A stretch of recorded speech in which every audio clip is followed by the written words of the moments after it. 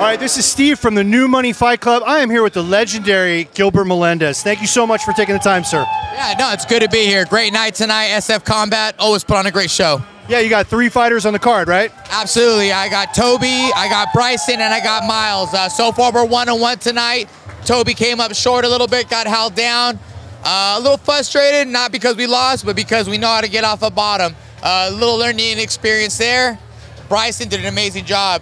Fought here last time, Yeah. came up short, fought his ass off, did a great job. Yeah, that was a dogfight. It was a dogfight, you know, and I think he's uh he's sometimes reckless and will take a lot of punches just to give two to you. And this time, I think he was way more patient and picked the shots. I was proud of Yeah, he's learning. So these guys, when they at the amateur level, when they take a loss, they come back to the lab with you, and you're finding all the weaknesses and helping them to improve. Absolutely, we always got to take lessons from it here, and, and we got to learn from it. Whether we win or lose, we take what we get, and and we make those adjustments. Uh, for instance, you know, th- Bryson had to fight a tall guy. How do you fight a tall guy? Oh, you got a double jab. You can't just throw a one-two because you're gonna be out of range. So you learn these new things, chopping the leg, you know. Oh, you fight someone who has a good back take. You really work on your back escape. So you level up through those experiences. Well, you have so much experience too, so I'm sure you got a lot of wisdom to pass down to the guys. You know.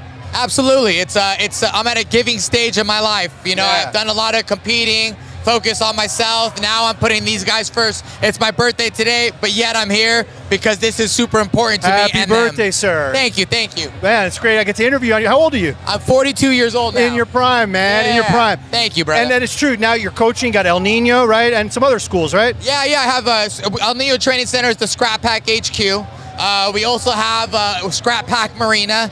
I have an affiliate in Tulsa, Oklahoma, and in Bakersfield as well. And we're trying to get a third of the mission going right now. Nice. And so you're just gonna be making the rounds to your schools. Absolutely, yeah. I think without overextending myself, four in the city will be good. Yeah, I uh, think my so. my other brothers are doing well where they're at, and uh, yeah, we I think we got a great community, authentic fighting, even a gospel, and how to be a, a, a good warrior in our in our point of view. We've interviewed a few fighters from the Skrap Pack guys, the El Nino guys, and they're always very respectful, great guys, great character.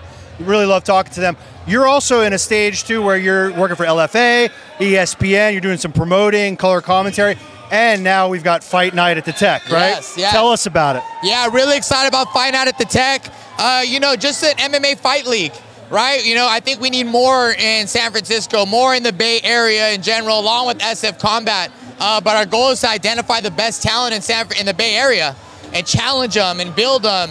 And uh, same with veterans. There's some really good veterans who've really like established themselves in the community, and they deserve a stage to perform. And we really want to bring it out and you know fork up some more cash, make a really good platform. The Tech CU is a beautiful arena, Yeah, and we're gonna do it in a ring, and that's like how the sport started. That's how you used to do it. I used to Yeah. do it in Pride and Shooto, Pancrase. Yeah. They did it, and in my opinion, it'll increase the action. But I love the cage, and I'm not against the cage, and there'll always be a cage in MMA.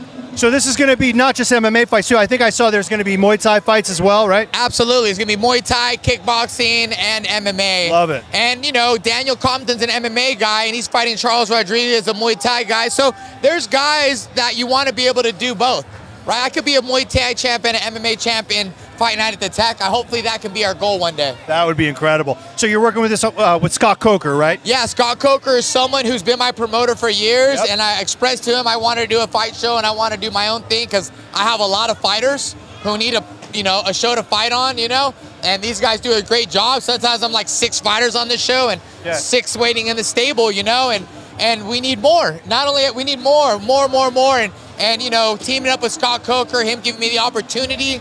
Uh, to be like an apprentice and be side by side, it's a great opportunity, and, uh, and I'm enjoying it. To be mentored for a guy like by, by a man like that to become a promoter, Yep. very lucky. Absolutely. Uh, You know, for those that don't know him, he's one of the best promoters in combat sports history. He had the very first show in California at SAP Center, and I was on it. That's right.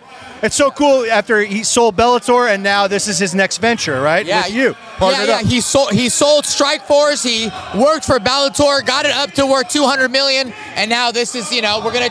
He's helping me out with this. He might be cooking something else out in the future, but that's on him. Yeah, amazing team. We will definitely be there. We were really. I saw that whole card. It looks incredible. Really exciting. Great contribution to Bay Area martial arts and just martial arts in general. Thank you, Gilbert Melendez, for taking the time to do a quick interview with us. Thank you guys for having me. Yeah, Appreciate it. Appreciate you, sir. Enjoy the fights and good luck with the rest of the night.